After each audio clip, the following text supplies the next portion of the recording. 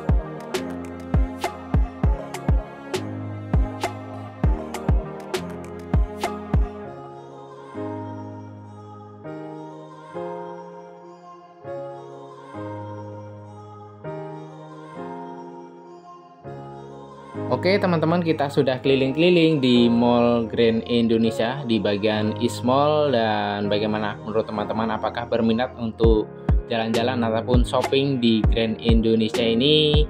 Silahkan tulis di kolom komentar pendapatnya tentang Grand Indonesia.